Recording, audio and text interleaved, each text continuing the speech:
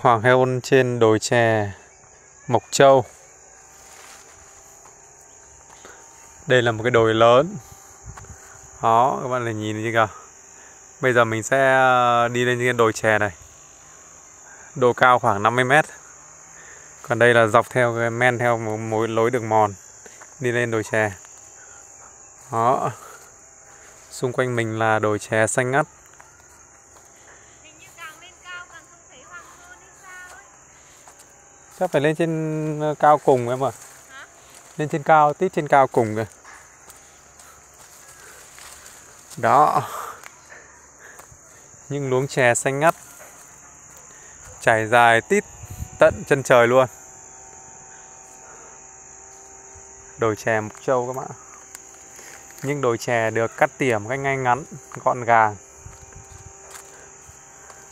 Thu hoạch hàng tháng những người nông dân mà khai hoang nông trường được 60 năm rồi. Những năm 58 à. Đó, đã khai hoang nông trường 60 năm. Và tạo ra những đồi chè xanh ngắt này. Đây là một quá trình lâu dài và tốn rất nhiều công sức của biết bao thế hệ những người khai hoang nông trường Mộc Châu. Đó. Mình mới đi được một ba con đường thôi. Nhưng mà đường chè thì vẫn còn thẳng đứng à. Nhưng búp chè xanh ngắt. Đó. Hoàng hôn đang xuống rồi. Cố lên nào. Hôm nay mình có một người bạn đến chơi nên là mình uh, dẫn bạn ấy đi xem khu vực đồi chè. Đấy. Thì mình cũng tiện lâu lắm rồi không đi. Những đồi chè là một trong những cái địa điểm yêu thích của mình. Bất kỳ khách nào ở mộc châu mà, hoặc là hà nội mà đến đi chơi thì mình đều dẫn đi đồi chè. Tại vì cảnh sắc ở đồi chè mộc châu nó rất đẹp tuyệt vời. Xa xa là đấy các bạn thấy xa tít xa kia thì mới thấy những cái đỉnh núi. Cái nông trường mộc châu nó rộng không? Miên man. Đấy vùng cao nguyên mộc châu. Chè và sữa.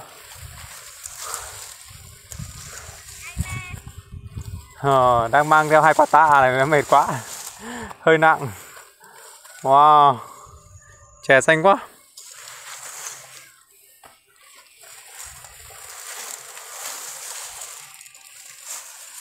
Wow. mình vừa đi từ dưới cái nhà kia lên. Chắc cũng phải được bốn năm chục mét rồi đấy. Đấy, xa xa là công ty chè Vinati Mộc Châu kìa. Đấy, công ty chế biến chè đó. Sắp lên đến đỉnh rồi.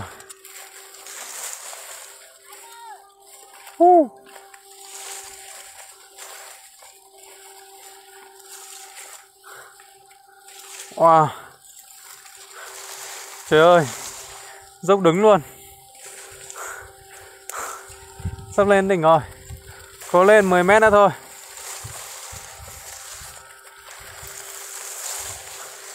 Ôi nó không có đỉnh à? Đỉnh là cái cây à? Nó không có cái bãi đất trống nào để ngồi à? À. Sắp lên đến đồi chè rồi Sắp lên đỉnh đồi chè rồi Có bãi đất trống không? Có bãi đất trống à? à. Trước khi lên đỉnh thì phải xuống một tí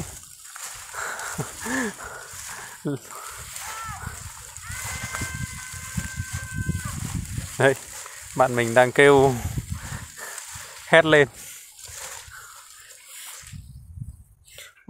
Hóa ra là có đường dễ hơn mình đi đường khó rồi. Ôi trời ơi. Đã lên đến đỉnh rồi. Đã thấy mặt trời đằng xa kia rồi. Đó. Mặt trời là cái bóng tím tím kìa wow. cuối cùng nó lên đến đồi chè, đỉnh đồi chè cao nhất khu vực này một vòng cho các bạn xem nhá bắt đầu. Đó, phía kia kia là công ty chè Vinati Mộc Châu này, chế biến chè này. Ôi đấy là những cái đồi chè ngút ngàn. Chảy rộng. Đây. Chuẩn bị muốn đến một nơi rất quan trọng. Rất quan trọng. Kia là đường về Hà Nội kìa. Đó, khu vực mà có nhiều ngôi nhà kia là cái đường về với Hà Nội đó, đường 6 đó còn bên dưới này là khu vực thị trấn nông trường này. Có các cái nhà hộ dân để chăn nuôi bò này, chế biến chè này. Còn đây là hướng Tây. Hướng về phía Lào. Wow. Cảm ơn các bạn đã theo dõi nhá. Video đến đây kết thúc. Bye bye.